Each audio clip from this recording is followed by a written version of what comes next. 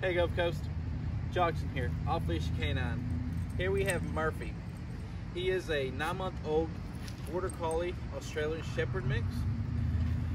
Owner's biggest complaints, uh, he jumps on people quite a bit. That's kind of their main uh, complaint, uh, as well as him playing rough. So when they have company over, he just acts crazy. So we're gonna work with him on uh, jumping and just kind of behaving at home uh, so that they can enjoy him a lot more. Uh, he does know a little bit of obedience.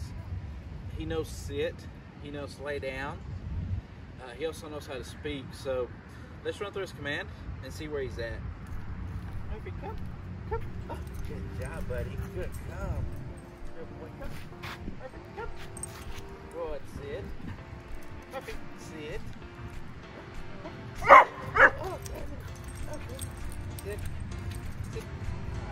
Place. Plays.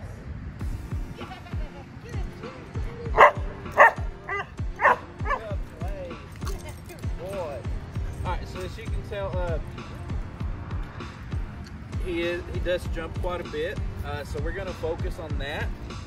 Uh, he's with us for our one week program, so stay with us and watch his progress.